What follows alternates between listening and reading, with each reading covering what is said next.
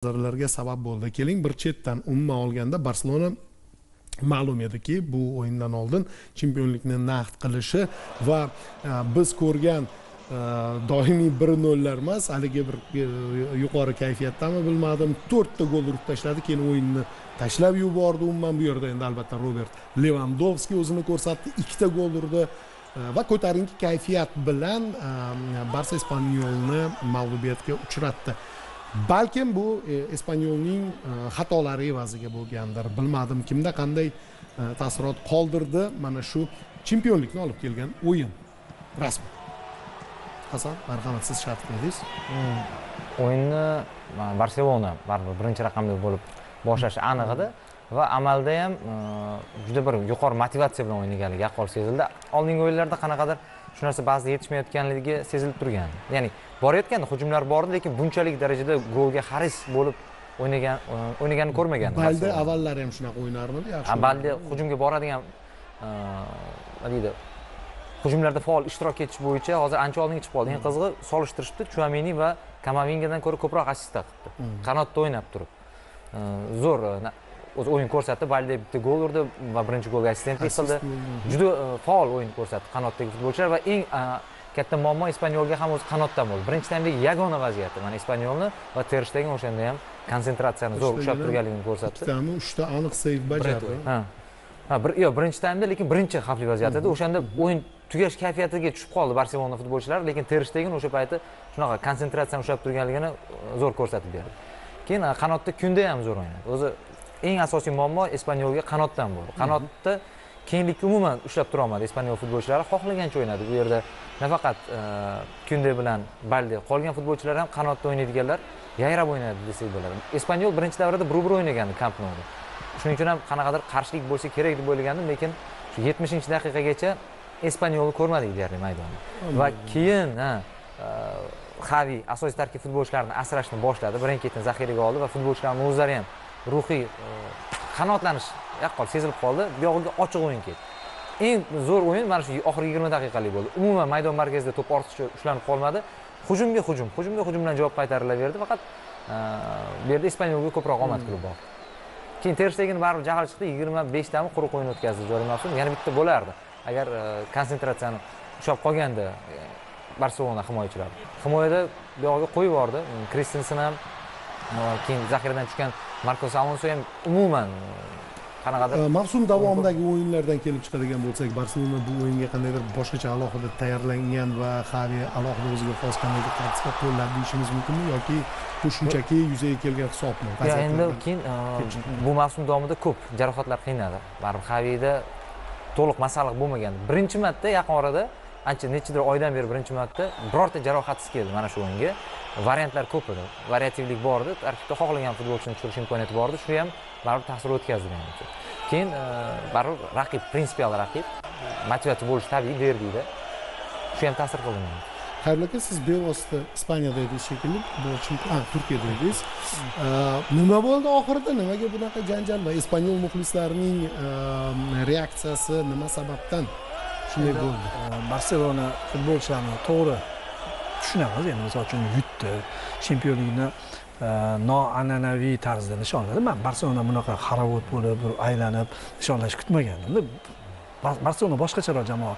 Yo'q quvishini qarang bular. Ha keyin muxlislar tushib kelishdi. Lekin e, insonda bir anaqa bo'ladi. Misol uchun e, qizilda to'xtash kerakku moshinada to'g'rimi?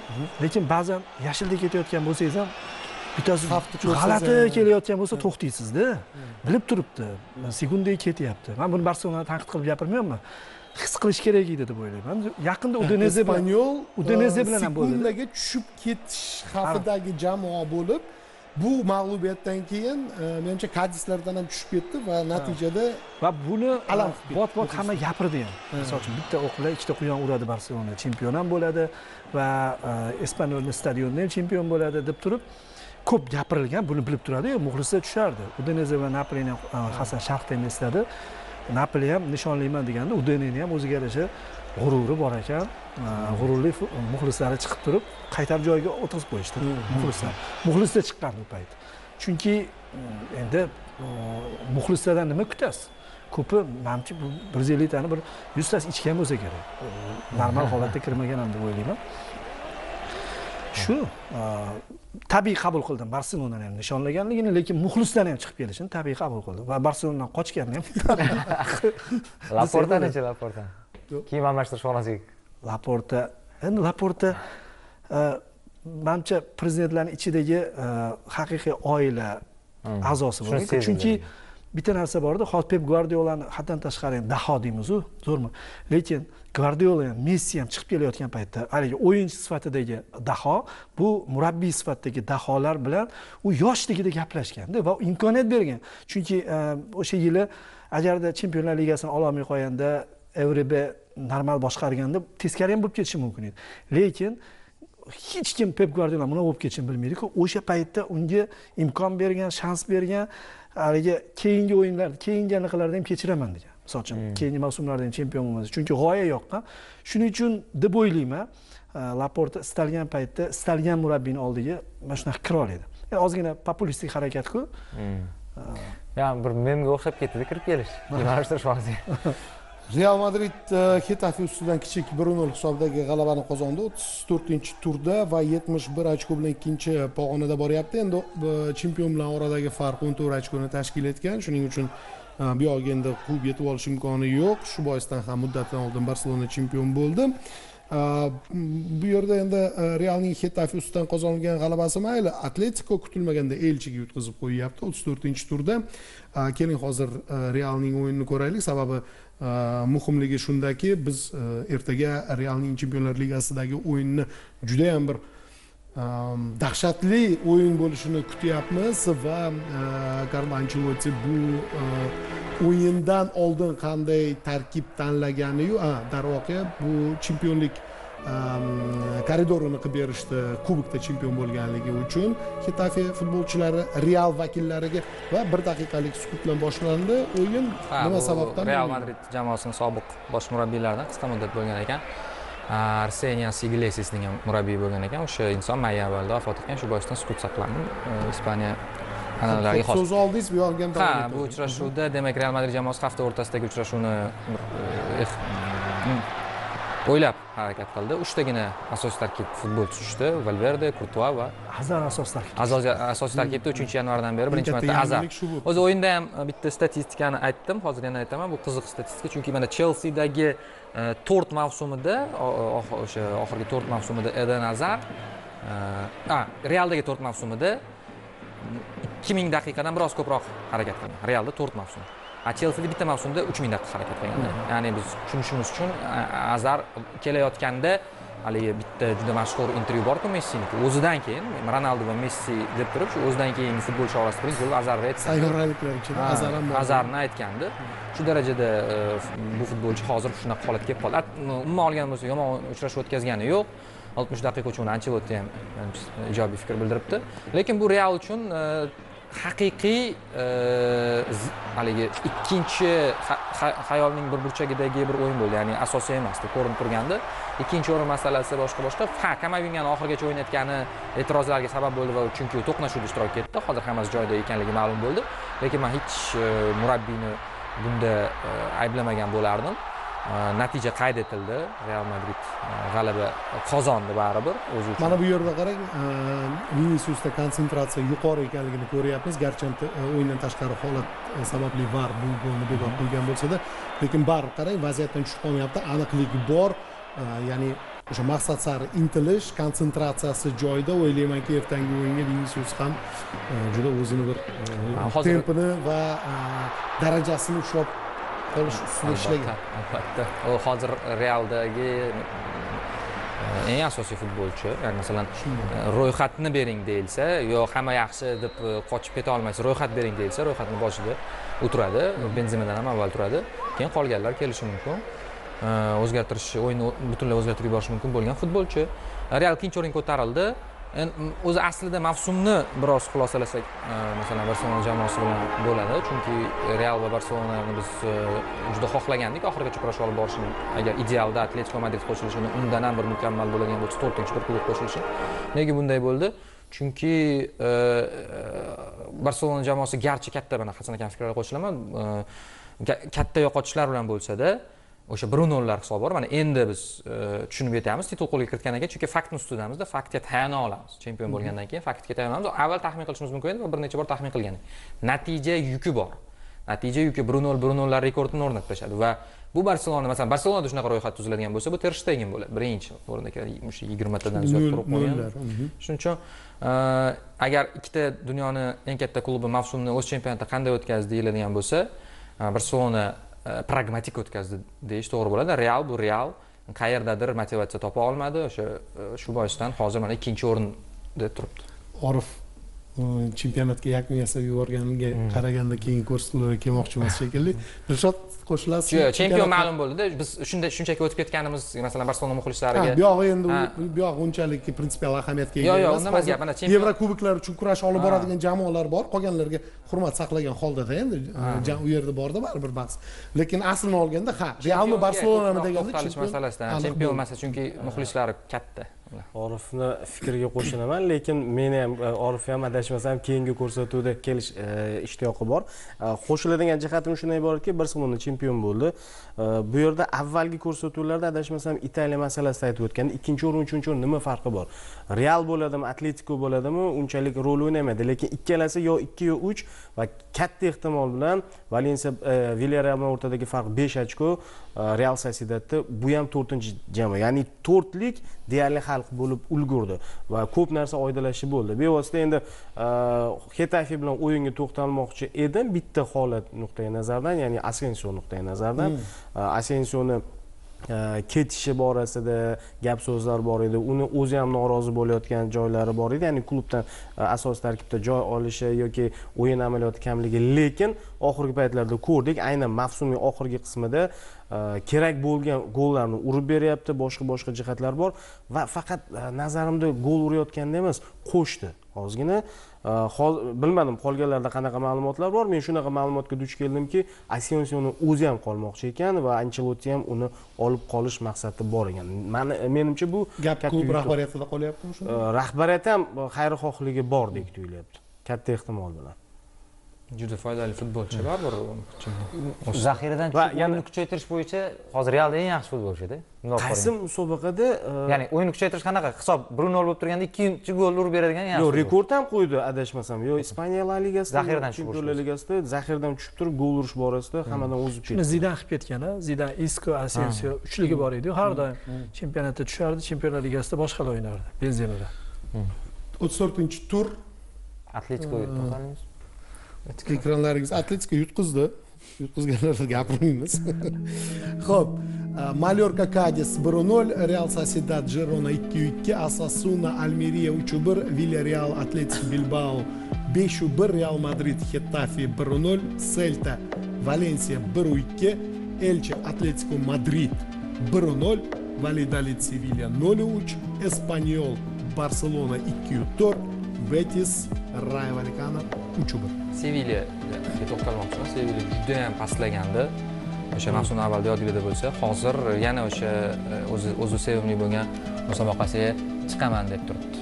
Va muhimi murabbiy almashganligi qo'l keldi. Sakkiz tur oldin xavfli zonaga bir ochko qolgan o'sha xavfli zonani ham ko'rsak yaxshi bo'lardi.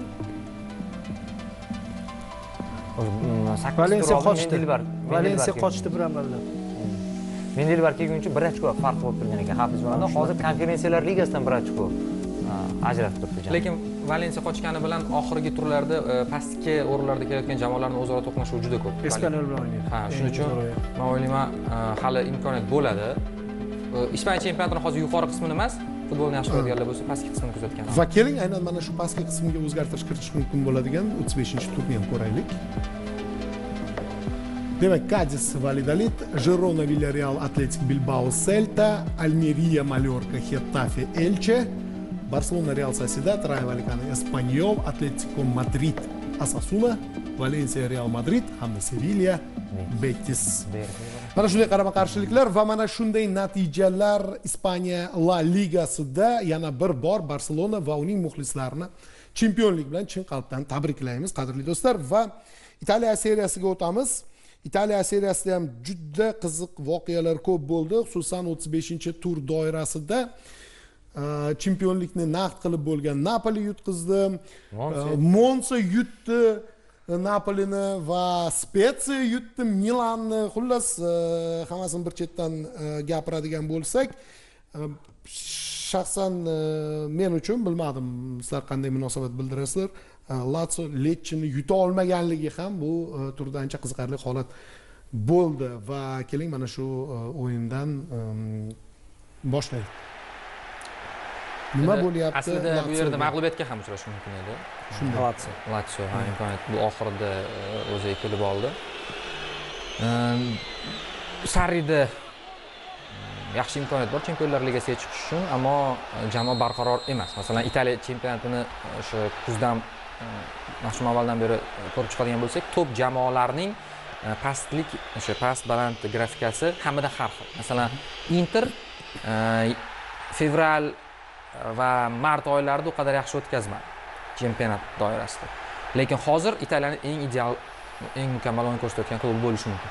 A, latsioda qaraydigan bo'lsak latsioda milanda ichki chempionatda hozir pasayish nuqtalaridek tuyulyapti. Э, o'yinni o'ziga keladigan bo'lsak bu yerda э, manimcha latsio futbolchilari э, imkon boricha shu hujumlarni uyushtirishda bog'lamlar bor edi. To'p bilan hatto bir bir necha ya'ni daqiqalar bo'lib turishdi markazda. Sarribolni ko'rdik ammo o'sha bitta e, nuqta sarribol naplini saribol o'sha napli davridagi sarriboldan farqi bu yerda hujumchilar e, ko'p emas top hujumchilar. Birgina immobili kam kam. A, naplini e, o'sha naplidagi vaqtida sarrida uchta hujumchi bo'lardi. Bir orada zakkani ochildi keyin negadir zakkani ko'rinmadi. Hujumchi emasda u orif to'g'ri aytyapti shu ma'noda natija bo'lishi mumkin. Leche esa e, vaziyatlardan foydalandi. Keyin yana bitta narsa o'sha to'p darvozabonlar masalasini ko'p aytaman. Italiyani top klublarida hozir mana endi meniyani top Minyandan deyapmiz. boshqa meniyani top eslash deyapmiz. kerak. shuni ham bu bu mavsumdan boshlayapmiz lekin boshqa top darvozabon yo'q. Dilshod bu fikr darvozabon borasida fikringa ham o'zi umuman o'sha sarri masalasi ochilganda hozir e, shunaqa davr bo'ldi latsio o'z o'zidan emas esingizda bo'lsa yuventusdan o'n besh ochko olib tashlaganda va qo'shib bergan taqdirda ham latsio ikkida turadigan holati bor. Edi ya'ni latsio yaxshi o'ynab turdi va e, mana shu studiyada ham e, barchamiz aytib o'tgandik mana endi o'tgan mavsumning mevasi bu mavsumga kelyapti. O'tgan yil sarflab yubordi. Chindan ham o'ta yuqori darajada qayerlarga esingizda bo'lsa yuventus bilan o'yinda qanaqa kombinatsiyalar bilan latsio g'alaba qozonib ketdi lekin orif hozir aytdi e, o'sha interni pasayishdan yuqorigini ko'tarish davri latsioni pasayishiga to'g'ri kelib qoldida e, milandagi uchrashuv o'sha lukaku ikkita assist bergani e, martinesga zo'r o'ynagan uchrashuv edi. O'shanda chindan ham latso birinchi taymda yaxshi bo'ldi ikkinchi taymda pasayib qoldi. Hozir mana orif aytgandan sekin o'ylab qarasa rostdan ham haqiqat bo'lsa kerak hujumchi tanqisligi. Ya'ni mavsum davomida immobili jarohat olgan paytlari bo'ldi. Avtohalokatga uchradi yengilroq shu tramvay bilan to'qnashgandan keyin o'ynamadi. O'sha holatda esingizda bo'lsa yevropa e, ligasida ham guruh bosqichida o'ynamagan paytlarda kimni tushirdi oldingi chiziqqa E, e, zakanini eslab o'tdiku e, filip anderson o'ynadi aslida na zakani na filip anderson ular Sof hujumchi emas. Ora orada mana pedro ko'rinyapti pedro pedro ham hujum markazida to'qqizni Orqadaroq. bajaradigan futbolchi emas. Va balkim rostdan ham sarrining futboliga ikkita uchta variant qilish. Misol uchun interda lukaku bo'lmasa jeko jeko bo'lmasa xoakin bo'lmasa lautarosi borku shunga misol yuventusda ko'ryapmiz vlaxvich vlaxvich vlaxvich edi milik varianti chiqishni boshladi rotatsiya qilishni boshladi endi to'g'ri napolida asimkeni o'rnini topish to'ldirish u qiyin masala latsioda ham shunga o'ylab qiyin va shu bilan birga ya'ni fikrni mustahkamlash uchun aytishimiz mumkin asimkin bo'lmasa va uning o'rniga yana hujumchi topilmaydigan bo'lsa u yerda ham biz natija bo'lmasligini ko'rdik ko'rdikda birinchi o'yin judayam Lig- chempionlar ligasi birinchi o'yini milan bilan asimken yo'qligi katta ta'sir o'tkazdi. Shunday. Xayrli aka meva o'z mevasini beryapti e, o'tgan mavsumdagi harakatlarda mevaga qurut tushdimi? Sizda nima? sovurgan. Latsio. И anaval o'sgan o'zi. Umumiy o'sgan baribir. Endi leche bilan o'yini o'zi e, nimagadir lecheni haligi to'g'ri baholanmagan klub hisoblayman juda ko'p to'p 16 jamoalar bilan o'yinda zo'r ham o'ynaydi. Ya'ni e, bitta o'zidan tepa jamoaga zo'r tayyorgarlik ko'radi. Tayyorgarlik ko'rdi va oldinda borayotganda oxirida endi dahshatli gol urdi. Latsio shunaqa qutulib qoldi. Shuning uchun buni tabiiy baholayman va latsioni e, baribir chempionlik kurashiga o'z o'zidan hamma aralashtirib qo'ydiyu o'zi imkoniyati yo'q edi. Shu napoli yettita o'yin yutqizsayu latsio yettita o'yinni yutsa degan gaplar baribir odam chalg'itadida va latsio yaqin orada o'zi chempion bo'lmagan va sarri yuventus bilan chempion bo'lganini hali tushunmaydi. Biz chempionlikka qarab ketsa "E, kerak emas bizga deb o'sha narsa balkim e, haligi maqsad paydo bo'lib qoldi. O'zi maqsad bo'lmagan orzu bo'lgan. Orzu bilan maqsad farqliku maqsad qo'li yetib turgan narsa. Orzu uchun anaqaga mm, himolayaga chiqishim chiqqim kelyapti deb orzu qilish mumkin. Lekin chiqolmasligi aniq u odamni. Maqsad aniq. O'sha maqsadga aylanganligi bunga minus bo'ldi deb o'ylayman. Keyingi o'yinlarni tashlab yuborgan. Ya'ni ruhiy tomondan bo'ladi. To'g'ri hujumchi bilan ham muammosi bor boshqa muammolar ham bor. Lekin keyin ikkinchi o'rinni mana yuventus hammani chalg'ityaptida bir chiqadi bir tushib ketadi deb o'ylaydi hamma to'rttalikda o'ynaydi. O'zini ham o'zi chalg'ityapti boshqalarni ham chalg'ityapti. "E, baribir hozir ochko'z qaytarib berilsa biz baribir ikkinchi bo'la olmaymiz deydi. Hozir endi gap chiqdi ko'proq shu asosli gap. Keyingi yili minus to'qqizdan boshlaydi degan gap kuchliroq bo'lib turibdi chunki baribir bir yarim oydan keyin bo'lar ekan. Buni bu chempionatga bog'lab bo'lmaydi. Hozir chempionlar ligasiga vakil jo'natish kerak to'rtta jamoa. Yevrokuboklarga aniq bo'lishi kerakda u yerda savatlarga tushishi shuning uchun e, uefa agarda cho'zilib ketadigan bo'lsa ochko olish marosimini e, keyinga qoldirasizlar minus to'qqiz bilan yuventus o'rgangan. Minus to'qqiz bilan minus nechilar bilan o'ynashni o'zi eskidan bilan. shu ham to'g'riroq shekilli chunki oltinchi yilni eslaydigan bo'lsak kalchipolida mavsum tugagandan keyin hal qilishgan va yuventus b seriyaga tushib, yana u yerda milan bilan fiorentina keyingi mavsumni minus ochkolar bilan boshlagan. Ya'ni pretsedent bor ilgari mana shunday tajribadan o'tgan ha o'zi oldingisida o'n besh ochko noto'g'ri olingan ekan. Ular taxmin qilgan jinoiy belgilar bo'lgan lekin asos bo'lmagan. Hozir asos olib kelingan nechidir bet hozir? Yuz betmi? Asos bor aniq turibdi bu narsa. Maoshitada borku. O'shani taqdim qilib bo'lgan ekan. Shuning uchun e, apellyatsiya sudi e, o'sha hujjat yo'q degan. Hali oydinlashyaptida. Endi bu bilan aniq to'qqiz ochko olinadi deyishyapti. Faqat qachon olinishi muhokama bo'lib turuvdi keyingi yil ekan. Salernitana atalanta. Bu e, o'yinga nimaga to'xtalmoqchi edim? Salernitana o'zi quyi pog'onalarda yuradi. Atalantani esa haligi yoqadigan loyiha darajasiga ko'targan edik va qandaydir o'xshash e, holatlarni ham ko'p uchratamizda atalanta e, latso kabi jamoalar ishonib boshlasa rasvo bo'ladi. Ha keling mana shu o'yinni ham ko'raylik. Bu yerda e, salernitana g'alaba qozongan o'z maydonida bir nol hisobda e, atalantani mag'lub etdi mana shu atalantaga ham to'xtalib o'tishlaringni xohlagan bo'lardim. Nima bo'lyapti? Bu jamoada tajribali murabbiy hammasi yaxshi boshlangan o'tgan mavsumda yaxshi futbol namoyish etgan atalanta bu mavsumda nima uchundir kutilmagan deylik shunaqa kutilmagan natijalarni ko'rsatdi. Kutilganda kutilmagan natija kutmaganingizda yurib yurib oltinchi o'ringa chiqib qo'yganini ko'rasizda o atalanta xavf solishi mumkin yevrokuboklarga chiqishi mumkin deyilgandan boshlaydida bu ham ko'proq kichkina jamoaligidan kelib chiqadi deb o'ylayman futbolchini o'zi bor mental bekorga himoya qilmaydi gasperini. Gasperini atalantadan o'sib ketgan aniq. Lekin futbolchilar har yili e, bittadan ikkitadan almashaversa e, juda ko'p asos almashib ketib qoladida va yetakchi futbolchilar ketadi. Yangitdan qurguncha yarim mavsum o'tib qoladi. Endi futbolchilar ishondim deganda mana bunaqa e, ruhiy ta'sirlar bo'ladi. Shuning uchun ham atalanta toki haligi brendini maqsadini o'zgartirib olmasa borku shunaqa yuraveradi deb o'ylayman. Gasperini ham rozi gasperini ham sh- shuni shuni ishlab boshlagan boshida haligi jo'ja sotamiz tovuqligicha olib bormaymiz deyishganda bular Ha, lekin biz ulardan bir broilerlarni katta katta natijalar kutyapmiz. Chunki endi boya to'g'ri aytdingiz o'rgatib qo'ydi. Ya'ni degan paytingizda o'sha chempionlar ligasida o'sha covid paytida covidmidi bu yoqda salernitani ham e, xizmatini aytish kerak. Souza keldi. Kelgandan beri salernitani xizmati. Yo'q seriya qayd etyapti mag'lubiyatli seriya ya'ni ham elitida qolish uchun. Elitida qolish uchun kurashayotgan jamoa o'sha lechchega ham qiyoslamoqchiman. Lechche ham nimaga birdan bunaqa e, qarshilik ko'rsatib qoldi. Chunki unga ham ochko kerak. Va salernitanada ham xuddi shunaqa holat shuning uchun spetsiya ham yutib yubordi bu yerda. O'tgan turda kim? Kremoneze milandan ochko tortib oldi eng xavfli payti hozir o'sha autsayder jamoalarni va salernitani ham shuning uchun bu yerda e, oxirgi daqiqada urgan bo'lsa ham kandreva golni lekin aslida turib berdi himoyani. Va a, o'zi salernitani to'p a, o'zidan teparoq jamoalar bilan yaxshi natija qayd etgan ekan bitta napoli bilan. Bitta empliga yutqizdi napolini ham durang natija. Ha, yo'q montsaga yutqizgan ekan.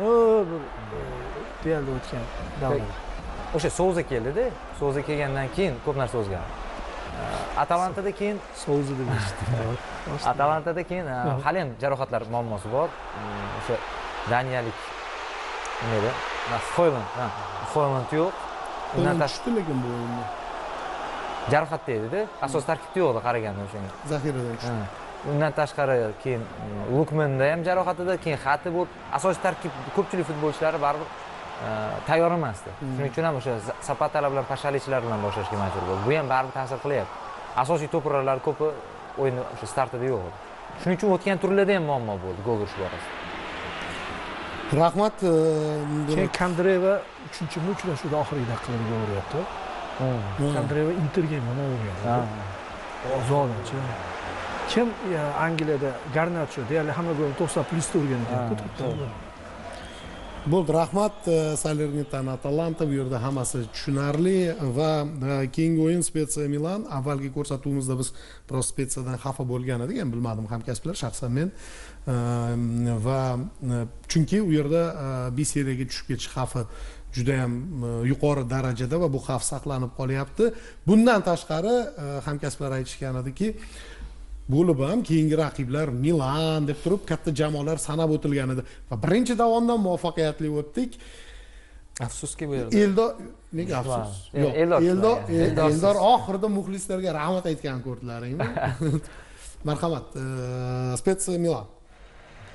Yuqorida aytilgan tezisga yuz foiz qo'shilaman. Hozir a, ha- turnir jadvalini pastki o'rinda borayotgan jamoalar istalgan klubni afsuski bu yerda endi chempionlik masalasi juda erta hal bo'lib qolgan masalan chempionlik uchun kurash kechayotganda ham milanga qarshi napoliga qarshi deyarli shunaqa o'yin bo'lar deb o'ylayman spetsiyaga nizola baribir qaytgani bilin- bilinyapti ya'ni qaytmadi avvalgi uchrashuvda harakat qilgan lekin zaxiradan maydonga tushib hali sport formasini tiklamagan uning holatida esa sport formasini tiklash juda muhim chunki unda bor narsani o'zi sport formasi u lukaku sal boshqacharoq formatdagi lukaku mana qanaqadir mo'jizaviy omad ham kelib qoladi uni bunaqangi xatti harakatlaridan hayron qolasan qanday qilib bu to'purar to'purar italiya a seriyasi to'purarlardan biri kam kam emas uning gollari soni shuning uchun spetsiya jamoasini o'zida o'zi individual olib qaraydigan bo'lsak spetsiyada mana endi o'yinni yaqindan ko'ryapmizu e, yaxshi sifatli futbolchilar bor shu negadir e, murabbiyni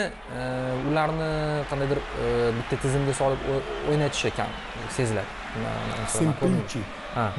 Э, alohida olib qaraydigan bo'lsak juda yoqimli o'yin ko'rsatadigan nizola giyasin o'yini menga juda yoqadi. Maydonni masalan ancha ortga qaytib boshqarish bo'yinda ham yaxshi o'ynadi. ha, funksiyasi bor uni. Ya'ni masalan hujumda eng markazda ko'rsatilishi mumkin lekin aslida. Butun uchrashuv mobaynida markazdan boshlab haligi aylanib yurib nazorat qiladi shuning uchun endi milan tomonidan qaralsa natija bu tushunarli bu endi oldindagi uchrashuv to'g'ri aytish mumkin milanni ham chempionat ichkarida yaxshigina intrigasi bor chempionlar ligasiga bu yerdan chiqib olish kerak iloji boricha atalanta yutqizganini bu psixologik jihatdan aksincha ta'sir qilib qo'ymaydimi yo aks yondashuv yutqizib hozir mana e, ko'ryapmiz teoni tanalini umuman bularning xatti har- bular ham hozir isbotlashi kerakki haqiqatdan ham yarim final darajasida o'yin ko'rsatib ikkiyu nol hisobidagi farqni ishoninglar bizga. Mana biz hozir zo'rmiz.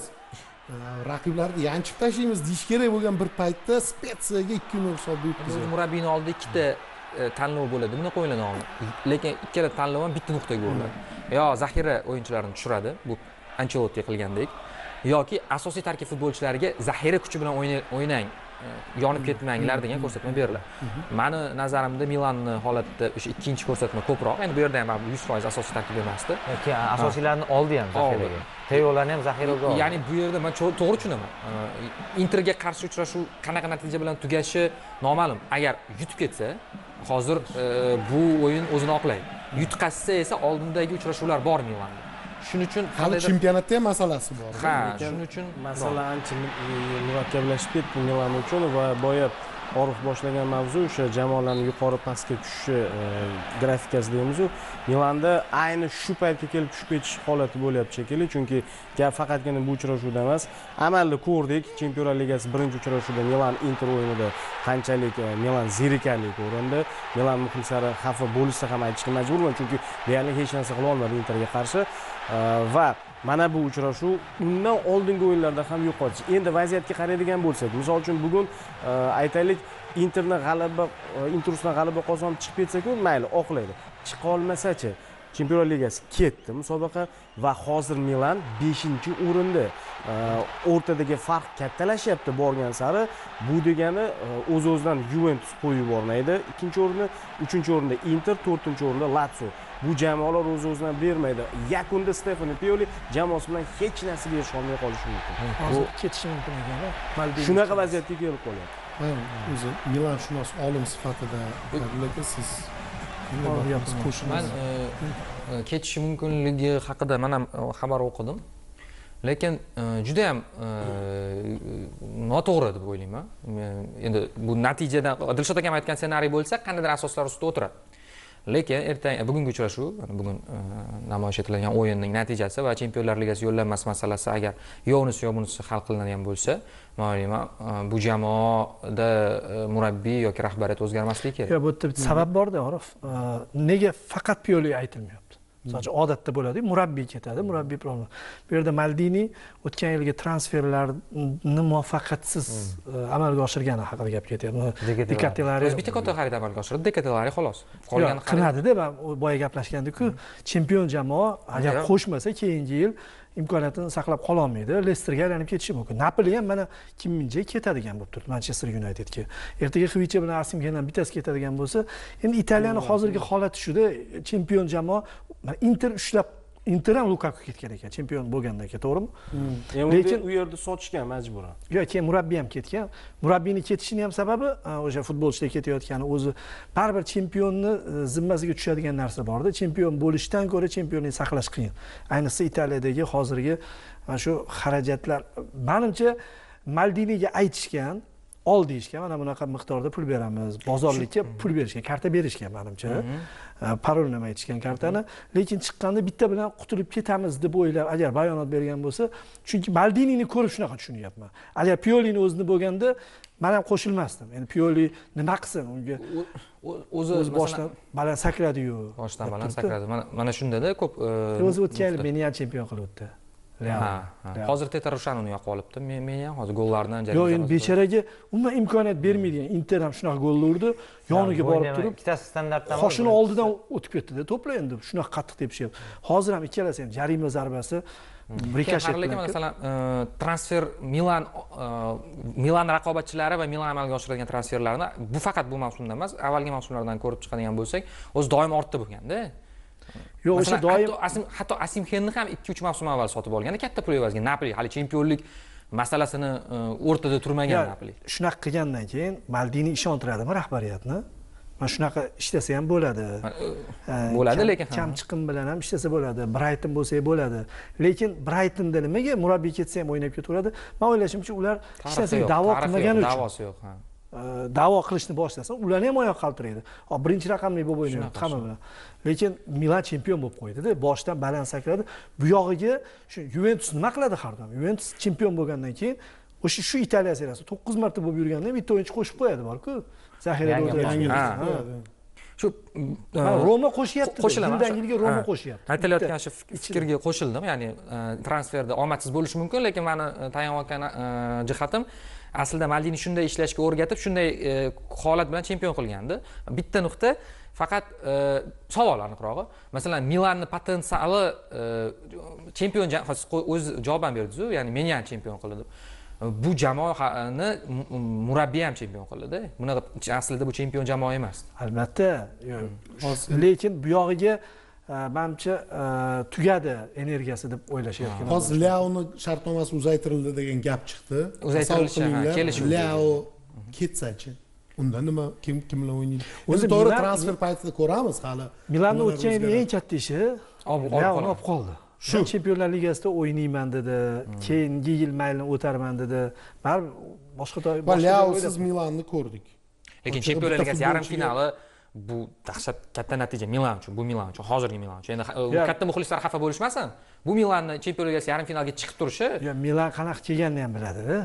Bilib turibdi rahbariyat ham bilib turibdi. Baribir e, quradi bitta Ha, ham misol psjga tushmadi bavariyaga tushmadi. Bu yoqda qirg'in bo'lib yotibdi bu yoqda italyan napolini yutishi taxmin qilingan edi. Napoli baribir yevrokuboklardagi tajribasi yo'q edi. Keyin bitta o'yinda yutuvdi undan oldin. Mana interga oldingi o'yinlarda ham yutqizuvdi yana yutqizdida baribir e, davom etib kelayotgan narsa e, yana amaliyotda ko'rinyapti. Va mana hozir biz milan haqida gapirdik. Bejizga ko'p to'xtalganimiz yo'q. Sababi bugun uh, milan yutib bir tiqib tashsa gaplar. Chempion- chempionlar ligasi kesib olib qo'ying o'sha joylarni Um, chempionlar ligasining yarim final bosqichining javob o'yinida interga qarshi maydonga tushadi.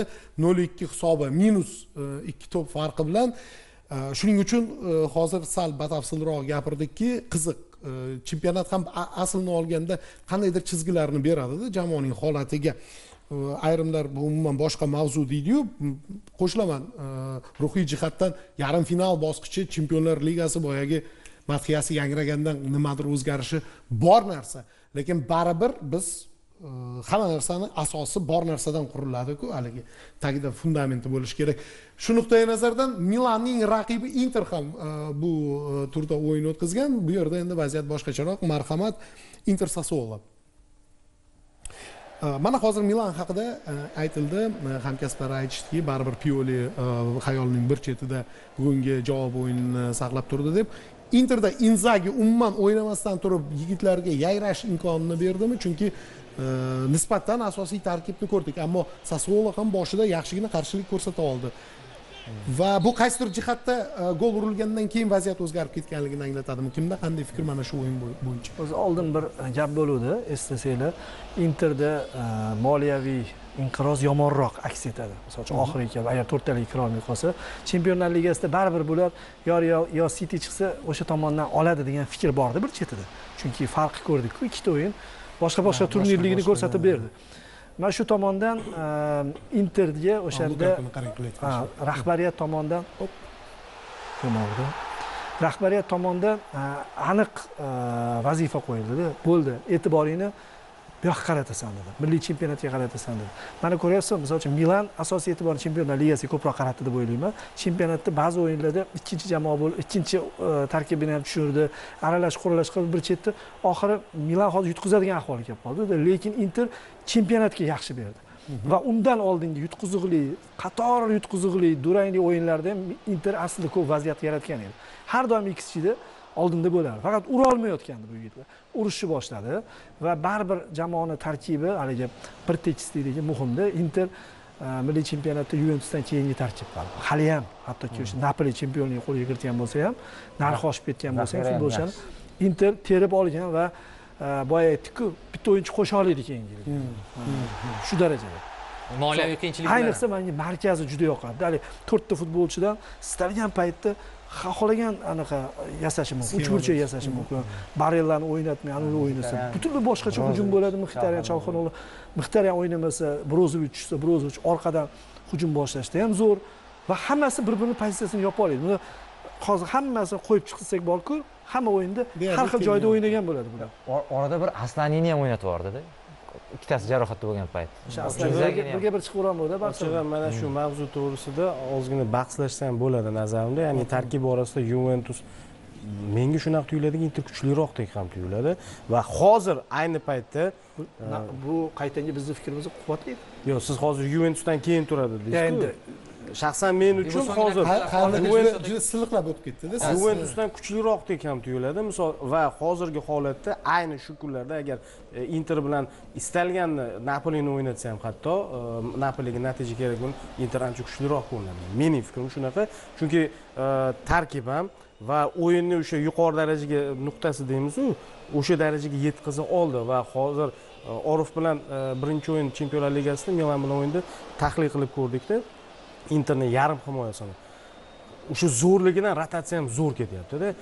Birma bir milanga qadar uchrashuvda uchta italiya a seriyasida bir gal miktaryanni tushirmagan bir gal barellani olib tashlayapti bir gal e, yana e, hakanni olib tashlayaptida oxiri chempionlar ligasida brozovichni tushirmadi istagan holatda istaganini almashtirib tashlaydi. Endi bu o'rta qanotlarga qarang o'ng qanotda hech ham bilmaysiz. U yerda darmian tushadimi yoki dumfries tushadimi?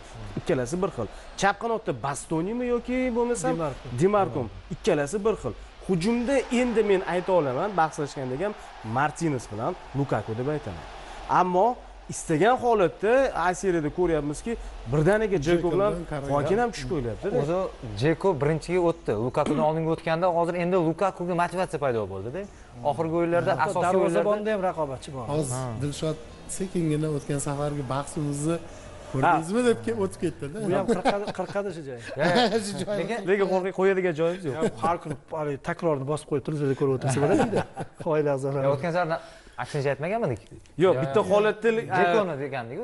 Ochig'i o'sha tarkibni ko'rdik orif bilan u- uchrashuvga kirish arafasida lautaro tushyapti dedimu mana shunisiga e'tibor beryapman ammo hozir ham aytdim men uchun lautaro lukaku edi. Lukakuni shu kuni zaxiraga olib qo'ydi. Chunki lukaku ichki chempionatda o'ynadida tarkibga ham manimcha bir o'yinga katta o'yinlarga- moslab ham emas zo'rligidan hammasi bir biriga tengligida dondonziki o'ynab Endi tushirsangiz interda e, o'tgan bahor ham yaxshi o'tgan. Masalan qishdan ko'ra mart yo'q o'zi eng zo'r transferi inter konte ketgandan keyin eng zo'r transferi inzagini olib kelgani bo'lganda. Ya'ni hech narsaga zaha Sxema zarar bermaydigan mutaxassis olib kelgan sxema hech narsa o'zgarmaganda ikkita hujumchi bilan o'ynaydigan uchta markaziy himoyachi bilan o'ynaydigan boyitgan lekin ancha boyitgan. Ha to'g'ri boshida ba'zan o'xshamaydi ba'zan ketadigan ahvolga tushib qolishi mumkin. Lekin o'shanda ham esinglarda bo'lsa inzagini aybi bilan emas deyilgan edi.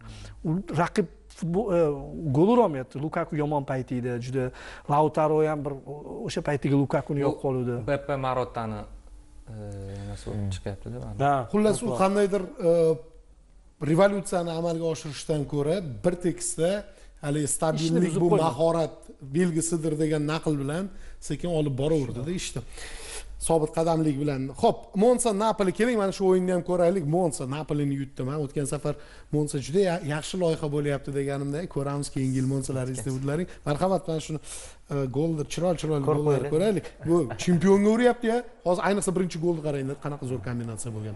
Endi savol ham yuzaga keladi agar napoliga uch ochko kerak bo'lganda bu o'yin qanaqa kechardi bir nol yutqazadi chunki mana bu kombinatsiyani aloqasi yo'qda. Yo'q lekin o'yin zo'r bo'lgan. Mana bu yerda napoli futbolchilari rosa harakat qilishgan. Zelenskiy anaqa bo'lib tushibdimi sardor bo'lib tushdimi ilgari ham sardor di bo'lardi. Lorenso bo'lardi oldin rotatsiya qildi chunki baribir chempionlikni nishonlagandan keyin hamma baribir formada emas.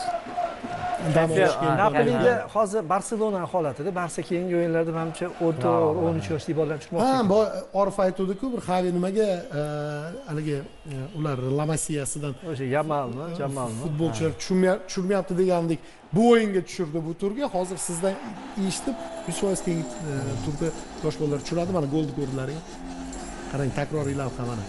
Bir ikki uch bu ham pas berish kerak. U ham pas berib yuborganda. Qaytadan hujum boshlash unda ayaks bo'lib qolardi. Yo o'zi xgni ham ko'rdim. Ustunlik qilgan monsa vaziyat yaratish borasida. Bo'lsa to'liq ustun hozir shu kecha kunduzda birovni maqta desa. Yana va'da berilgandirda bular bular faqat va'da manimcha yillik berilgan abonement petani ham gol uribdi ikkinchi gol va sobiq jamoasi. buni ham alami bor o'z o'zidan emas monsani bunaqa o'sha hozir napoli jamoasini holati qiziq baribir masalan e, juda yoqimli bo'ldi o'yinda bu mavsumda. Yaxshi. Markazda turib lekin man baribir Xotirjamlik montsada montsada maqtaysizlarku misol uchun brayton brayton aytdiku yuzi borda aniq qanaqa o'ynashini biladi. Arsenal bilan ham o'ynayaptida arsenal chempionlik o'yini kurashib turibdi. Shaxslar ham boshida man besh daqiqa ko'rib o'tirdim. Qaysi biri birinchi raqamli bo'lib oladi deb birinchi bo'lib oldida brayton boru. Ya'ni dominantligi bor montsa juda ko'p raqiblardan kelib chiqib o'ynaydimi deb mana o'ylayman bu yerda hali lekin birinchi raqam bo'lib o'ynadi chempionga qarshi bu o'yinni mayli qo'yib turaylik o'zi qanaqa uslubi qanaqa demoqchiman monsa shunaqasizu ha shu moslashadi raqibga. Ha, o'zi o'sha moslashuvga yaqin ekan nomi jamoani. Lekin e, bu ham bir o'ziga yarasha ustunlikda misol uchun Yo'q, raqibdan kichkina kelib chiqib strategiya tanlaydi kichkina jamoalar uchun ustunlik bo'lmaydi. Bir kun muvaffaqiyatsizlikka uchrab seriya bo'lib ketib qoladigan bo'lsa ligadan tushib ketadi. tarkib ham shunga bal- mos ekan. balkim Tarkib- balkim. tarkiban normal o'rta mana shu hozirgi pog'onalarga mos. Lekin xayrli chiqqandan keyin almashtirib tashladi butunlay endi Xayrli aka bitta holat borda. Hozir e, o'rta miyonali jamoalarga qarshi balkim deb aytyapsizu ammo aynan shu monsani solishtirsa o'sha kim leche salernitani o'sha spetsia bilan solishtiradigan bo'lsangiz eng barqarori bu. Misol uchun spetsia milanni yutib keyingi o'yinda yutqazib qo'yishi mumkin. Lechedan ham xuddi shunaqa narsa ya'ni kuchni yo'q man sarflaydi leche lecheni bilaman birinchi bo'limda zo'r bu lechedan yaxshiroq bu. Yo'q birinchi bo'limda aniq zo'r o'ynaydi juda xavfli o'ynaydi. Qarshi hujumlari zo'r juda qiziqroq leche Ha. qiziqroq monsam bilmayman E, Monsa mavsum Yuventusga avvalida monsa tarinadan yuqorida yuradi deb o'ylamagan edim yo'q man o'rin haqida gapirmayapman. Baribir tajribali futbolchi bor. Bu anaqaga o'xshaydi. Milanni oxirgi yillari borku hamma yulduzlar borgan. Sekin sekin milanga solishtirildi yo'q tajribali futbolchilar. Lekin milan solishtirganda va solishtirmagan keyin milan qulaganda milan qulagan hozir o'sha tajribali futbolchilar hisobiga bo'lmayaptimikin deb o'ylayapman. Yoki yosh yaxshi murabbiy ham bor hali Paladin. tanimaydi uni ham aytish kerak baribir xullas xullas keyingi mavsum ham olish kerak ekan unda monsani ko'rish uchun bu sizni fikrlaringizni inkor qilishingiz uchun. Hozir xullas ishonmadingiz monsaga bu jamoa keyingi mavsumda man faqat o'sha motivatsiya hisobiga o'ynayapti deb o'ylayman yo xarakteri bor chunki nol ikki uch ikki qila olgan. motivatsiya bo'lganda xarakter paydo bo'ladi. Yo yutqazib turgan ikkita to'p farqi bilan yutqaz- undan oldingi turda bo'lganmidi? Yutqazib turib uchta gol urib yutib ketdiku endi pul yaxshi motivatsiyada yonida yana e, ayrim nimalar bo'lsa faktorlar bo'lsa undan ham ha.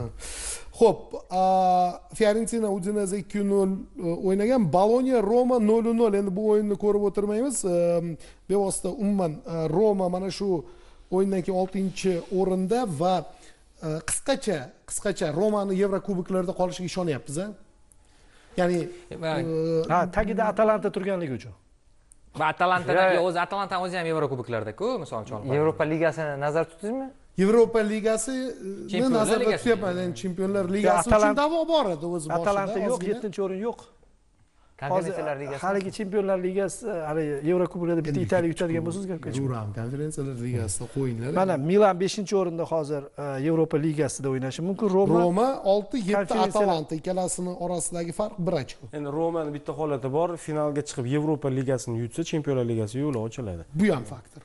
Lekin uh, a seriyada nazarimda roma u yoqda tursin milan ham to'rttalikka kirib olishi juda qiyin Ha, hozir milanda bor raqiblarga bog'liq bo'lib qoldi? Yo ochkolar farqi to'rt ochkoda baribir mavsum ham tugab qoldi. Ha hozir to'g'risi fiorentina bilan qirq to'qqiz ellik to'qqiz to'g'ri. Yevrokuboklarda qoladi, aniq ekan bo'ldi. Sal adashtiribman hisob kitobda negadir fiorentinadan tushib ketishim mumkin deb o'ylayapman yo'q, ho'p. Bayr bilan o'yinni aytyapsiz deb o'ylayman birinchi o'yinni yutdiyu imkoniyat qanaqa deganingizga o'sha o'yinni yutdi endi ikkinchi o'yinda masalan nimaga? Yevropa ligasini ham gaplashsak bo'ladiku to'g'rimi? Faqatgina chempionlar ligasidan iborat emasku dasturlarimiz. Keling undan avval yuventus krimoneze ikki nol hisob bilan o'ynaganligini aytib o'tishimiz mumkin. Buni ham ko'rib o'tirmaymiz. E, kutilgan e, kutilgan natija. kutilmagan narsa bu yerda pagba bo'ldi. Pagba o'yinga tushdi yigirma ya'ni nihoyat pagba qa- qanchadir vaqtda adashmasam Bir yil. yuventusga kelgandan beri endi birinchi marotaba asosiy tarkibga kirdim. Shunday. shunaqa bo'ldida bechora yig'lab chiqib ketdi. Yigirma to'rtinchi daqiqada oddiy bir holat yuqoridan to'pni jarima maydoniga yetkazib berishida bir oyoq tortib qoldi chap tomonda. Keyinchalik o'qidim chap tomonni mushaklari o'sha shikastlangan ekan va e, bo'ldi. Mavsum tugadi uning uchun. Ya'ni uch haftami to'rt hafta kerak bo'lsa unda mavsum tugab ketadi. Shunaqa bir achinish bo'ldi. Chunki atalanta bilan o'yinda tushdi. Vlahovichning goliga pas berdi assistni amalga oshirdi. Kecha ham shu dimariya bilan solishtirsangiz yuventus ham shu uch besh ikkiga o'tib olgan faqat dimariya bilan pagbada holat boshqacharoq. Dimariya sal qanotga o'tib oladi yoki bo'lmasam raqib hujumga borganda dimariya chetroqda turadi aralashmaydi. Himoyachilar to'pni olib qo'yib yetkazib bersa qochadi keyin. Pagba unaqa emas. Pagba o'sha jarima maydoni ichida kurashib turib o'sha pasni berishi mumkin bo'lgan futbolchi va o'sha pagba holat- jamoasini hujum vektorini ham belgilab beradi. Ha aynan shuni aytmoqchimanda o'sha chizgilar ko'rinayotganda pagbada boshqaruv o'sha o'ninchi raqam intellekti bor, baribir futbol intellekti playmekerligi bor edi. Ko'rinayotgan bir paytida birdaniga jarohatga duch keldida va oxiri yig'lab yubordi o'zi. Bechora dimariya tushib ovutib olib chiqib ketdi o'sha biz lukakuga tavsiya beruvdikku nima qilish kerakligini pagba ham so'rab olsin nima qilish bevosita o'yinda to'xtaladigan bo'lsak vlahovich bilan boshladi pagba chiqib ketgandan keyin di mariya tushadi deb o'ylaganim o'sha nuqtaga lekin di mariyani tushirmay milikni tushirdi. Men uchun yangilik bo'ldi. kutilmagan bo'ldi. Ha chunki ikkita hujumchi bilan deyarli o'ynamas edi. Qachon o'ynaydi yuventus yutqazayotganda yoki zarur natija o'ta zarur bo'lganda gol kerak bo'lganda o'ynardi ammo tasavvur qiling yigirma to'rtinchi daqiqadan hali birinchi taymning yarmi milik bilan vlaxovich o'ynashni boshladi. Keyin natija deyarli hal bo'lganda kremoneze hech narsa qila olgani yo'q butun o'yin davomida. Natija deyarli hal bo'lgandan keyin zaxiradan tushgan milikni ham olib tashladi. Va shunaqa o'yladimki sevilyaga qarshi o'yinda baribir bu ham o'ylayapti deb. Sampdoriya empoli bir bir hisobi qayd etilgan va keling italiya seriyasining o'ttiz beshinchi turidagi natijalarni yana bir bor eslab o'taylik. Latsio lecce ikki ikki salernitana atalanta bir nol spetsiya milan ikki nol inter sassuolo to'rt ikki verona tarina nol bir monsa napoli ikki nol fiorentina udineze ikki nol boloniya roma nol nol yuventus cremoneze ikki nol hamda sampdoriya empoli biru bir mana shu natijalardan keyin turnir jadvali. Quyidagicha chempion e, oldinda ho'p ikkinchi o'rin yuventus oltmish to'qqiz ochko uchinchi o'rin inter oltmish olti ochko latsio oltmish besh ochko. Bu e, chempionlar ligasi pog'onalari yevropa ligasi pog'onalari milan oltmish bir ochko roma ellik to'qqiz ochko atalanta ellik sakkiz ochko. Boya aytgandek milan qarang to'rtinchi o'rindan olti ochko orqada uchta tur qoldi. To'rt to'rtta ochko.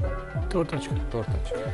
Va 65, e, 65. turnir jadvalining ikkinchi qismini ham ko'raylik. B seri- b seriyaga tushib ketadigan jamoalar. Verona cremonese sampdoriya lekin xavfli zonada spetsiya turibdi va lecce turibdi. Mana shunaqa. Leche qolishi kerak spetsiyachi biz lecche qolamiz spetsiya qaytib olaveradi buni ho'p kim qaytadi kim ketadi bilishimiz uchun biz o'ttiz oltinchi turdagi o'yinlarni ham ko'rib olishimiz kerak bo'ladi. U yerda esa sassuolo monsa cremonese boloniya atalanta verona milan sampdoriya lecce spetsiya torino fiorentina napoli inter. Chempionlikni belgilashi mumkin bo'lgan e, e, o'yinlar ha, agar e, hamma joyda bo'lganda qanday tur bo'ladi o'zi aslida leche bilan chempionat spetsiya darajasida emas chunki Roma Salernitana, Empoli Juventus. Xo'p, mana e, Napoli Inter afisha nuqtai nazaridan qiziq, lekin natija nuqtai nazaridan Napoliga hech narsa kerak emas. Bu yerda Interga muhim g'alaba. A, Qolgan juftliklardan kelib chiqadigan bo'lsak, kim qaysi o'yinni tavsiya qiladi? O'zlarining ishlaydigan leche spetsiya hozir hali aytgandek? Leche spetsiya chunki spetsiyada ham qandutimiz bor ham bu yerda aynan a seriyada qolish uchun ikkala jamoaning tish tirnog'i bilan kurashadigan bahsi bu. Sassuolo qo'shilaman. Ya bo'lishi mumkin chunki umuman bosimi yo'q. Hozir ikkalasi na tepaga chiqa oladi na pastga tusha oladi. O'ynanglar yigitlar desa shunchaki futbol tomosha qilish mumkin. Xo'p, katta rahmat e, bu Italiya seriyasining 35 turi e, tahlili va 36 turining anonsi edi. Ana endi mavzuni Yevropa Chempionlar Ligasiga e, o'tkazsakda va bugun tunda 23:50 dan boshlab Sport telekanalida siz Inter Milan o'yinini ko'rishingiz mumkin. Ertaga nasib qilsa 17-may kuni xuddi shu, ya'ni 23:50 Э, soat millar ko'rsatgan vaqtda manchester city real madrid javob o'yinlari bu final yo'llanmasini hal qiladigan qarama qarshiliklar э, va biz birinchi turdan э, ularning birinchi uchrashuvidan kelib chiqqan holda hozir qandaydir fikrlarni shakllantirganmiz o'zimizda. Bejizga biz inter hamda milan va siti city real o'yini bu э, mutlaqo boshqacha turnirlar darajasidagi o'yinga o'xshash tarzda o'tishini taxmin qilmayapmiz. Chunki birinchi o'yinni ko'rdik va u yerda haqiqatdan ham real city qarama qarshiligi o'ta yuqori temp o'ta yuqori sifat daraja klass qanaqa iboralar bo'lsa hammasini ishlatsa bo'ladi. Ijobiy iboralarni milan inter o'yinida esa ozroq ochig'i bilmadim qanday ta'rif bersa bo'ladi. Inter yaqqol ustunligini ko'rsatdi. Milanni qidirib ayrim hamkasblar milan qayerda deb ham xitob qilishdi. Men ko'proq aynan o'sha e, misol uchun qanot o'yinchisi biz aytuvdik e, rafael liaosiz milanga qiyin bo'ladi lekin bunchalik darajada qiyin bo'lishini taxmin qilmagan edim. Haqiqatdan ham qiyin bo'lar ekan. Va e, mana bugungi o'yinlardan oldin kimda qanday taxminlar? Orif. Man yuqorida ham aytdim ha e, birinchi uchrashuvdan kelib chiqadigan bo'lsa interda ustunlik bor o'yin jihatidan ham ichki chempionatdagi oxirgi o'yinlardan kelib chiqadigan hisob jihatdan hamma jihatdan interda bor. Lekin shu mana bosim. Hozir inter bir oyog'i bilan mana shu to'rtta jamoadan finalga eng yaqini inter. Bu yoq tomonda hech narsa ma'lum emas. Bu tomonda inter hamma endi aksar e, milan muxlisi bo'lmagan dunyoning futbol e, tomoni borki interni chempionlar ligasi finalda deb hisoblayapti.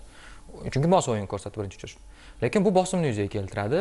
Bosim aks ta'sirini yuzaga keltiradi odatda. Milan endi hozir man bitta epizod bitta epizod bitta epizod. Ha hali darvoqe aytmoqchi edim o'sha milanni e, uchrashuvini ko'rganmiz hozir mos tushar ekan. O'sha spetsiyaga yutqazdimi spetsiyaga yutqazgan uchrashuvdan keyin spetsiya maydoniga borgan muxlislar bor. Ultra. Ha. Ultras. Ashaddiy muxlislar. Ular alohida haligi Mashvarat- oqim, ular mashvarat oqim alohida. Va ular e, futbolchilarni saf torttirib gaplashishgan endi o'zi murabbiy menimcha tashabbus ko'rsatgan ya'ni prokuratura tekshirayotgan ekan hozir uni mumkin o'qimadim. Emas ekan juda anaqa. Bunaqa qilib tashlash mumkin emas ekanda endi tabiiy o'ta qandaydir etik qandaydir tartiblar buzilgan bo'lishi mumkin. Lekin bu kulminatsiya. O'zbekistonda bitta klubda muxlislar shunaqa. Ha bo'lishi mumkin. Vodiy tomonda. Va mana shu e, holat kulminatsiya. aniqrog'i deb kulminatsiya. Ho'p, bu kulminatsiya nima chunki nima deyilgan? Bormi ma'lumotlar? Endi u yerda man haligi e, Labdan yo'q yo'q yo'q. yo'q lekin jiddiy turishgan boru bo'ldi bo'ldi. Keyin piolini piolini yosh bolalarni ahamiyatli qo'ygan piolini yuzi ahamiyatli endi u yerda taxminan nima gap aytilgani tushunarli. Masalan biz ibrahimovichni rolini haqida aytdiku chempionlar ligasini yutgan chempion bo'lgan yagona futbolchi edi shu chempion qildi dediku. Hozir jiru bor chempionlar ligasini yutgan lekin jiruni xarizmasi yo'q. E, bu vaziyatda ruhiyatni kimdir e, o'sha te- tegib qo'yishi kerak. Man o'ylayman muxlislar e, yetadi shunaqa kuchi. E, ham derbi ham e, hali yana shahar ikkiga bo'linadigan kun motivatsion e, jihati bu uchrashuvni e, taktik e, jismoniy jihatdan o'tib ketishi mumkin. Inter man hatto aytishyaptiku bu tomondagi chempion bo'ladi. Man o'ylayman inter finalga chiqib olsa finalda ham jang beradi deb o'ylayman. Sitiga ham realga ham. Lekin finalga chiqa olmasligi mumkin chunki bu tomonda to'g'ri motiva- motivatsiya olgan milan bo'lib qolsa. Va Leao uni Bu yerda- ataylab qilishayotgan bo'lishi ham mumkin to'g'rimi maldini bilan piolini haydaymiz yo'q yo'q oldindan shunaqa bo'ladiyu ba'zilarga shartnoma taklif qilinadi. Hozir yana bitta jihati borda. Bu shaharda biz yurolmay qolamiz. Agar inter chiqarib yuborsa milanni de- degan prinsipial qarama ha qarshilik u yerda prinsipiallik bor masalan. Masalan spetsiya chiqarib yuborganda ham milanni misol uchun spetsiya uchun bo'lgan o'zi kelib kelib spetsiyami degan hatto shomurodov ham o'ynamadi jinnimiz degan E, edi. taxminan taxmin qilish mumkin masalan biz Ha, man endi o'yla- xavf- yo endi o'ylashimcha spetsiya botgan baribir ya endi u oldindan rejalashtirilgan menimcha xayrul aka. Yo endi spetsiya bilan o'yindan keyin bo'lganda bu. Tushundim, inter bilan tushunarli lekin spetsiya bilan hali nahotki bolalar o'yindan keyin ketib qolmanglar e, hali ultras dedilaring o'sha tifoziylar chaqirishayotgan buni ekan. menimcha pioli qilganga o'xshadi. Ha. ko'proq chunki bir e, arsenal haqida film chiqqanda arteta ham ancha yillardan beri o'sha klubni muxlisi bo'lgan odamni olib keltirib gapini eshittirdiku futbolchilarga. U anrilarni ko'rgan bergamplarni ko'rgan futbolchi yoshlarga gapirib berdida. Bu muxlisi ham ko'pini ko'rganda bo'lib ketaman deb tushuntirganda ham. Yo'q pioli atayin boshqalardan ko'rgan bo'lsangiz jiddiy turibdi eshitlaring mana eshitlaring degandek turibdida. Muxlisi ham qattiq gapirmagan muxlisi e, aksincha e, nima deydi g'amxo'rlik qilib gapirgan qattiqqo'llik qilib agressiya ko'rsatmagan. Ya'ni ya'ni Hozircha agarda biz birinchi o'yindan kelib chiqadigan bo'lsak milanda imkoniyat ko'rmayapsiz? Manmi yo'q man milanni yaxshigina imkoniyat ko'ryapman. E, menimcha bu ustida milanni imkoniyati faqat men ko'ryapman. E, ya'ni bilmadim. E, yo shu motivatsiyalarni hisobiga bo'lishi kerak deyilyaptida. Bu ya'ni kayfiyat ko'pchilikda ham bor. Masalan yo'q motiv- motivatsiya mana aynan buni Lekin- chetga suringda deyapman. Birinchi o'yindan kelib chiqqan milan boshqacha yuta olmaydi hozir. Milan boshqacha yuta olmaydi. Yo'q a demak milan chempionatni ham shunaqa yutdi o'zi chempionlikni ham Ha, aslida boshdan bir yuqori sakrab yutdi hamma futbolchi agar o'sha anaqa diasdan katta futbolchi bo'lib ketganligi boshqa kerak emas bo'lib kelgandida juda baribir mahoratli futbolchi yaxshi tayyorgarlik jismoniy holat bo'lmasa faqat ruhiy yo'q mana Ura, ura bilan qarshilik bor qiyin. shunga qarshilik bor. Yo'q qiyin albatta hech kim oson deyotgan yo'q. Realdan tashqari. real ha real mana real. Nega realda individual mahorat egalari kechirasiz aka har bir chiziqni qarang bir o'zi hal qilib qo'yishi mumkin o'sha bo'lgan o'sha kun- o'sha jamoaga kelib turib birdan e, shunaqa e, mahoratga ega bo'lib qolyaptida ular. Kamavinga misol uchun boshqa. Dnk dnk milanda ham bo'lishi mumkin degan ma'noda gapirdi. Yo'q, milanda hozir kim? Ko'rinmayapti. Man ham o'zi misol uchun sharhlaymizu to'g'rimi? E, sharh e, sharhlashni o'ylab turib o'ylab turib man ham milandan nimadir kutyapman. Chunki agar milan bir narsa jang taklif qilmasa boshqa bu o'yinda ma'no ham yo'q. rasmiyatchilik bo'lib qoladi.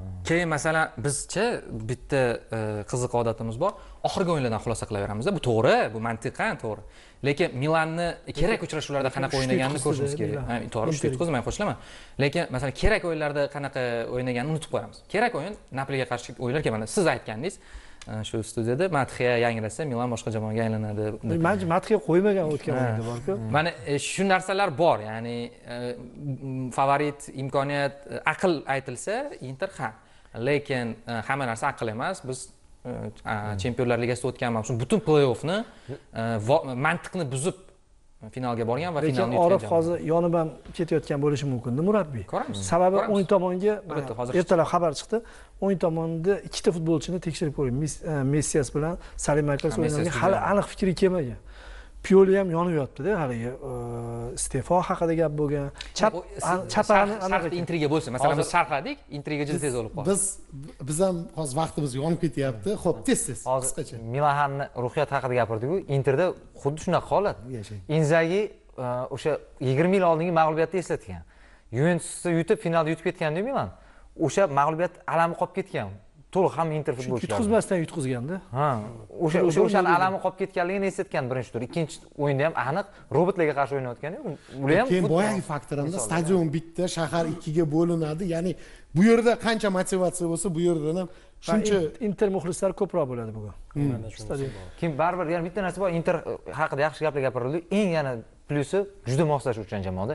Har qanaqa vaziyatga moslashadi. Xohlasa qarshi hujumga o'tib olib o'ynashi ham mumkin bugun. Agar shunaqa o'ynaydigan bo'lsa yutqizishga ham moslashishi mumkinmi misol uchun yo'q milanniga agar ochiq futbol taklif qilmasa bo'ldi. Milan qarshi hujum asosiy quroli leovni quroli asosiy shuda hozir bo'ldi qiynaladi. Milan pozitsion hujumda nimadir qilib olishi qiyin. Demak orif bizda taxmin bildirdi milanni motivatsiyasi evaziga qandaydir imkoniyati bor va kutyapman dedi. Э, siz inter bosib ketadi deb taxmin bildiryapsiz. Yo bosib ketadi emas durang qilib oladi yoki yutqizsa ham qo'rqasizlar nol aytinglar double inter chiqadi. Kesib olamiz shu joyni man baribir inter chiqadi lekin yutqizadi yo durang bilan chiqishi mumkin ho'p dilshod inter chiqadi. Xayrli penaltilar seriyasi bo'ladi. Yo'q e endi kim nimani aytmaganini bir qarab turib aytib yubordingiz Yo'q, penalti seriyasini bilmayman. Darvoqe xayrullo hamidov bugun e, sharhdalar va e, yordam berib turishga e, kaminani ham chaqirgan. Yo'q demadim. E, kechqurun demak yigirma uch ellikdan boshlab sport telekanalida inter milan uchrashuvini o'tkazib yubormang. Va tezda qisqacha siti e, real endi bu dahshat bu dahshat yerda o'yin faqat tanlashni so'ramang tanlashni yo'q shunchaki birinchi o'yindan keyingi taassurotlar va ertaga nima kutyapsiz? Zo'r o'yin kutyapti qo'shilaman. Man ham qo'shilaman birinchi o'yindan kim bir- bir- biron narsa deng birinchi o'yin man bitta gap gapirib bo'ldim endi hali yigit kishi bitta gapiradi deydiyu o'shani yana takrorlayman. Hozir nol nolku endi. Bitta uchrashuv va bu finalga aylanyapti. Finalda odatda bir jamoa favorit. Ha real. Agar bu gap yangragan bo'lsa man ham qarshi gap gapirib qo'yaman shu joyda. City o'zini o'zi to'g'irlagan deb o'ylayman. O'tgan mavsumdan o'sdi. Mana shunga qo'shilaman menimcha bu safar o'tadi Э, shuncha gapirishda indamay turdim. Endi ozgina gapirib olay. Э, iching ichki xohish bo'ladiku. Baribir hamma biladi. Ko'proq italiya klublariga muxlislik qilaman va umuman e, chempionlar ligasini inter yutishini xohlayman. Men uchun finalga chiqdi deb o'ylayman va yutishni ham xohlayman va bu boyagi orifning fikriga qo'shilaman finalga chiqsa u siti bo'ladimi real bo'ladimi? Milandan ko'ra hozirgi kunda boya aytib o'tdim italiyaning istalgan jamoasidan ko'ra yaxshiroq nazarimda inter va ancha kurashadi. Lekin e, o'sha xohishni chetga surib aql bilan qaraydigan bo'lsak nazarimda e, o'sha nafaqat real bilan birinchi o'yinda bavariya bilan o'yinda ham sitini man boshqa tomondan ko'rdim va bu siti ancha e, moslashuvchan yondashuvchanroq va endi menimcha nihoyat pishib yetilib keldi. Bu tomondan olib qarasak gvardiola oxiri chempion qilish kerak nazarimda. Bitta minusi bor sitini yigirma daqiqa ikkinchi bo'limda ustunlik qildiyu. Urolmasa o'shanda stounzda kichkina futbolchi bo'lib qoldi.